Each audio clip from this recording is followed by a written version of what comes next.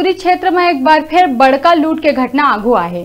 दो लोगन मन सराफा व्यापारी ले सत्रह लाख रुपया के सोना, चांदी और जेवर लूट लिहिन। घटना शाम पाँच बजे के है। टिकारी निवासी अमित रोज के तरह सोना, चांदी बेचे बरो का साप्ताहिक बाज़ार गए रही से। और जब वो सोना बेच के वापस आत रही से तो लूट के नियत से घात लगा के बैठे समीर सिंह और दीपक सिंह व्यापारी ऊपर डंडा ले हमला कर ली और घायल व्यापारी गाड़ी ले गिर गई और आरोपी मन हथियार दिखा के दो नग बैग में 11 किलो चांदी और 170 ग्राम सोना ल लेके फरार हो गई। जेकर कुल कीमत लगभग 17 लाख रुपए बताए जाते। घायल व्यापारी तुरंत मल्हार चौकी में शिकायत दर्ज करवाई। मामला बड़का होए ले जो मल्हार चौकी के पुलिस रिसे तुरंत ए मामला ला संज्ञान में लेके तत्परता से जाँच में जुड़ गई।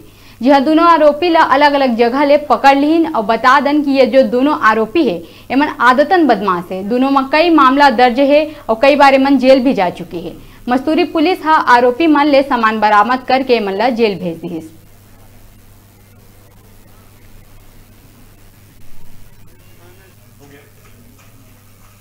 उन्हीं जो सराफा व्यापारी है, वो उखर बाज़ार से शाम के समय लौट रहे थे तो उनको रास्ते में रोककर दो आरोपी, दीपक सिंह और समीर सिंह ने उनको रोका और उनके साथ दो, दो सोने के जो बैग थे सोने चांदी से भरे हुए बैग थे उसको लूट लिया।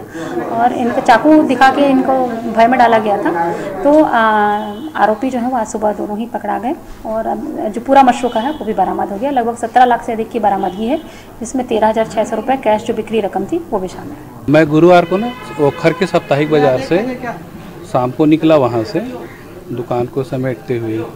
और लगभग एक किलोमीटर आगे निकला ही था कि पीछे तरफ़ से एक गाड़ी ओवरटेक की हमको।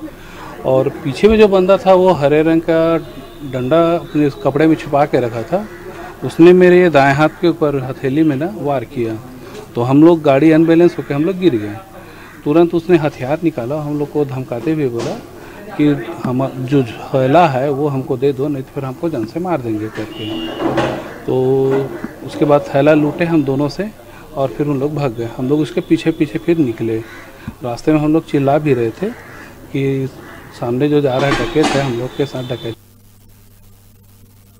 तय बेरा है छोटे कन ब्रेक के आपन कहूँ मत जहाँ बने रहा आपमन के अपन चैनल न्यूज़ 36 लाइव छत्तीसगढ़ की आवाज़ के साथ।